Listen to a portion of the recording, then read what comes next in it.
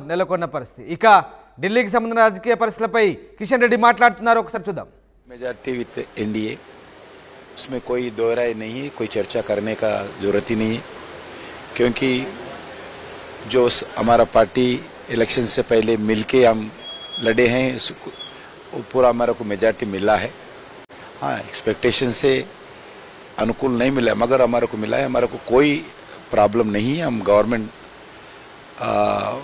Form करेंगे। मोदी जी के नेतृत्व में। मोदी जी के नेतृत्व में एनडीए को मेजॉरिटी मिला है।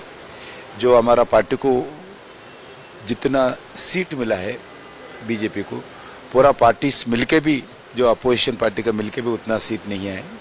इसलिए हमारा कोई आपत्ति नहीं है। बिल्कुल हम गवर्नमेंट फॉर्म करेंगे। हम मोदी जी के नेतृत्व में देश को सेवा भी करेंगे। Hundred percent. कोई सवाल ही नहीं है।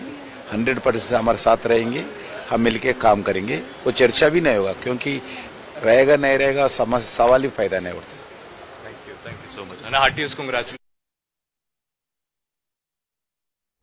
Right ఇది చంద్రబాబు నివాసానికి నేతలు చేరుకున్నారు మరోవైపు కిషన్ రెడ్డి ఢిల్లీలో మాట్లాడారు తమ మళ్ళీ మూడోసారి హ్యాట్రిక్ మోదీ నేతృత్వంలో హ్యాట్రిక్ పీఎం కాబోతున్నారంటున్నారు. ప్రభుత్వ ఏర్పాటుకు ఎలాంటి ఢోకా లేదంటున్నారు కిషన్ రెడ్డి.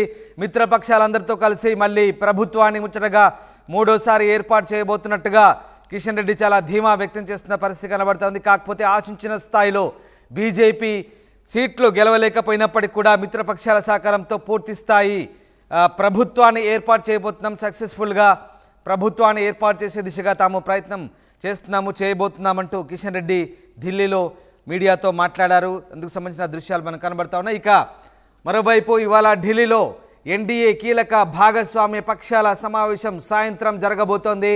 మోదీ నేతృత్వంలో జరగబోయే ఈ సమావేశానికి భాగస్వామ్య పక్ష నేతలంతా కూడా హాజరు కాబోతున్నారు. చంద్రబాబు పవన్ కళ్యాణ్ ఇద్దరు కూడా మరికొద్దిసేపట్లో ఢిల్లీ బయలుదేరబోతున్నారు.